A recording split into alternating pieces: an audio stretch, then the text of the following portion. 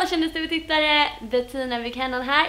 Idag så sitter jag i kändis-tv-soffan och har med mig Jake som är en av deltagarna i årets säsong av Paradise Hotel.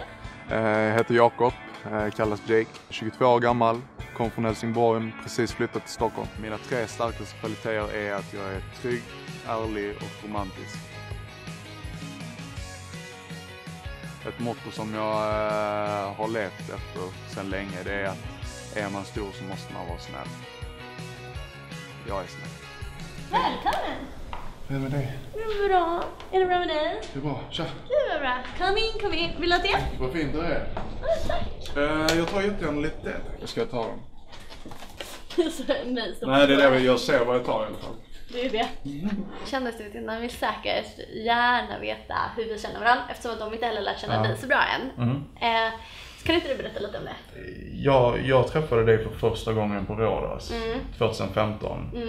Vi jobbade på, eh, på en klubb på Mm. Rhodos. Eh, nej men vi träffades där och vi var kollegor. Jag jobbade i baren, du Mm. jobbar med sälj. Mm.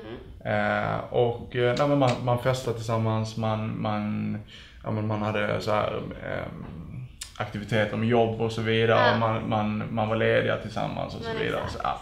Men sen så bodde du ju ihop med Johan som var med i min säsong av Mm. Paradise Hotel. Mm. Så ni som har lyssnat ordentligt, ni vet att jag ibland eller att jag och Johan känner varandra sedan innan och att jag har sagt att jag har varit på tacokvällar där och sånt. Och då har ju Jake varit med också då. Mm. Så Ja, vi hade lite myskvällar där hemma Ja. med, med några av Rhodos-gänget. precis, inte bara vi två alltså. Nej, nej, nej, nej, nej, inte så, inte så. Lugn, lugn, lugn, lugn. Men har du blivit utsatt för mobbning och så någon gång? Eh, Jag har varit väldigt mobbad när jag var liten. Alltså jag var nog lite speciell som barn för att jag Ja. var ju så pass mycket större. Eh, Jag kanske inte alltid, ehm, vad ska man säga? Jag kanske inte alltid kommunicerade med ord utan snarare med handlingar.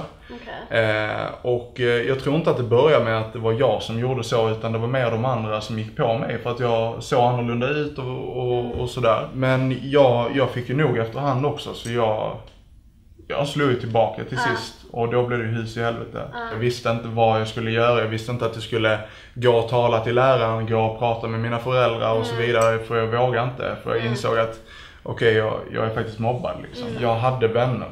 Mm. Det hade jag absolut, men det var, det var inga som gick emellan eller Nej. hade den typen av stake så. Nej. Men du började ju med längden. Har du Mm. haft liksom så här komplex för din längd? Eh, när jag kom upp i tonåren då, Mm. när eh, ja, puberteten och så vidare, så, så jämnade min, eh, alltså min storlek jämnade ut sig och jag blev ganska smal. Ja. Eh, för att jag blev så väldigt lång. Ja.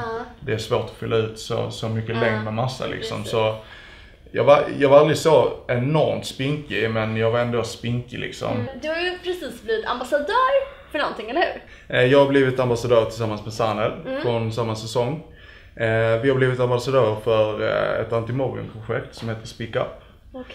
Eh, Och eh, detta är ett nystartat projekt Mm. som, som handlar just om att, om att bekämpa mobbing. Mm. Eller mer eller mindre försöka göra det bättre. Ja. Eh, Det blir nog väldigt svårt att helt utrota det men man, man får göra vad man kan. Kommer man se att ni är ambassadörer för ett så anti-mobbing-företag i Eh, PH? Alltså, jag och Sanel är väldigt olika individer. Mm. Ehm, men ehm, absolut, jag, jag försöker alltid föregå med gott exempel. Eh, jag är inte perfekt på något vis, Mm. långt det, ifrån. Är ingen. Men jag försöker att vara den bästa versionen av mig själv. Mm. Sanel är ju, Sanel är som Sanel är. Han är, Hur är han då? Vi har inte sett något men än. han är väldigt, väldigt tävlingsinriktad. Eh, han är citatmaskinen. Han Mm. bara spottar citat hela tiden. Ja, men vi framstår lite olika men innerst inne så är vi, alltså vi vill bara väl. Men kommer det bli alltså, mycket bråk? Nu snackar jag inte drama utan bråk. Det kommer vara ett scenario där eh, det är väldigt nära att det blir eh, fysiskt våld. Mm. Eh, och då kommer jag faktiskt att gå emellan. Jag hade turen att vara där för att det är precis där jag vill vara när den här typen av saker händer så att jag kan göra någonting. För, för det första så, så vill jag inte att det händer ja, de som blev mina vänner där inne liksom någonting och- eller att de råkar illa ut men för min egen del så är det också bra. För att det är precis den grejen som jag jag vill förmedla, jag vill komma ut med. Anti-våld, anti-mobbing, alltså anti allting eh, negativt egentligen. Ehm, så, så det har sina för och nackdelar absolut, men, men det kommer ske en del sånt. Hur tänker du göra nu i vår? Vad planerar du? Alltså jag vill ju jättegärna kunna jobba med mina sociala medier. Mm. Precis som du är säkert är på jättegod väg att kunna göra. Ja. Jag kommer att satsa på min blogg, min, eh, min Instagram och efterhand eh, Youtube. Men eh, vad heter din blogg? Eh, min blogg heter just nu finance.se slash Jake Ahl. Så gå Eh. in och kolla den och kolla även på min blogg bettina.volt.se och kolla också in min Youtube-kanal som kommer att länkas här i beskrivningen. Tack allihopa för att ni kollar på detta klippet och jag hoppas att ni tycker om det. Gör ni det så får ni jättegärna skicka massa tummar upp. Glöm inte att prenumerera på vår kanal och kommentera här nedanför vad ni vill se mer av så ska vi försöka lösa det till er.